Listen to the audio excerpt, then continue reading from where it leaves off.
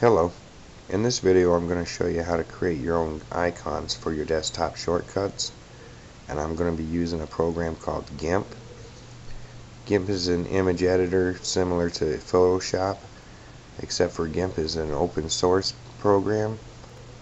Keyword being open source which means it's free and I think it works just as well as Photoshop does. So I have three pictures on my desktop. I have a mouse, a cat, and a dog. And I also have a dogs folder and the recycle bin. I'm going to open up GIMP and then I'm going to drag the dog picture into the interface. And then I'm going to click on the scale tool and I'm going to click on the lower corner of the picture and drag upwards towards the opposite corner and I'm just trying to make the image smaller. And then I'm going to click scale. And I'm going to click image. Fit canvas to layers. And now this is the size of my image. I'm going to click file. Save as. I'm going to leave it named dog. And I'm going to change the extension to ICO and then I'm going to come down here and I'm going to find the ICO extension in here click on that and then click save. Click save again.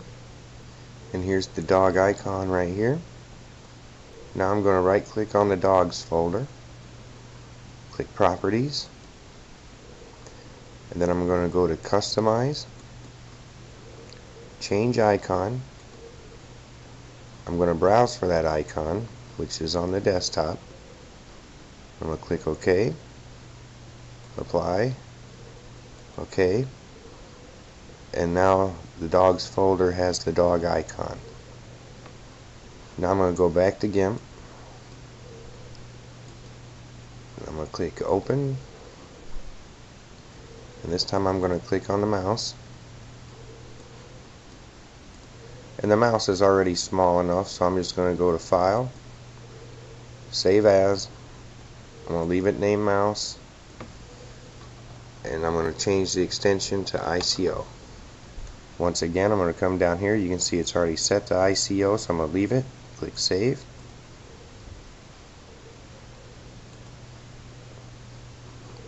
Save. And here's the mouse icon. Now once more I'm going to go back to GIMP. Click open and this time I'm going to click on the cat picture. I'll show you one more thing that I like to do. I like to use the ellipse tool and encircle the part of the image that I want to use. And then I right click within the border go to edit copy file and then new. I'm going to click OK and I'm going to right click edit paste. And there's my new picture. Now I'm going to go to scale. And I'm going to once again drag the lower corner up to the opposite corner. It's going to shrink the image. And then I'm going to click on scale. Okay now I'm going to go to file. Save as I'm going to name this one cat.ico. Still set to ICO down here. I'm going to click save. Save. And here's the cat icon.